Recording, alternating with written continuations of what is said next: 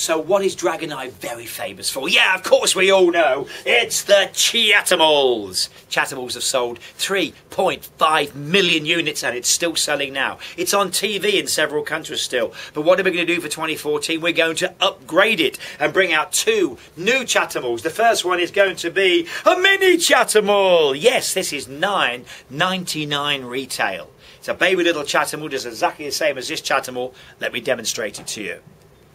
Hi everybody, my name is Mini Chatimal. I'm brand new for 2014. Hi everybody, my name is Minnie Chapel. I'm brand new for 2014.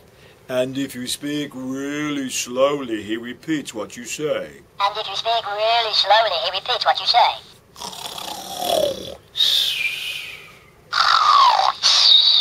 Fabulous little toy. It comes in a PDQ. We have different colours. We have pinks, we have browns, we have greys. This is Mini Chatimal, brand new for 2014. But look at this packaging. This is a little rocking chair here. This is the brand new item called the Cheeky Chatimals. Yes, Cheeky Chatimals. He's got a little bit of attitude. Let me show you how he works. Hi everybody, my name is New Cheeky Chatimals from Dragon-i. Hi everybody, my name is New Cheeky Chapel from Dragon-i. And as you can see, that little chair rocks on the shelf. Brand new, brand And as you can see, that little chair rocks on the shelf, brand new. Thank you very much, Cheeky Chatimals. As you know, this turns off after 30 seconds, lasts 550 times as the cycles in the store. It's a monster. We're doing a monkey. We're doing a penguin. He goes up and down. Let me show you. Hi there, buddy. My name is Cheeky Monkey.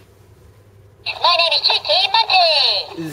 Thank you very much. I thought you'd fallen asleep, Monkey Face. Thank you very much. I thought you'd fallen asleep, Monkey Face. So that's the monkey, and of course the penguin. He goes from left to right. Chatimals, cheeky Chatimals, mini Chatimals, new Chatimals, 2014 monster line from Dragon-i.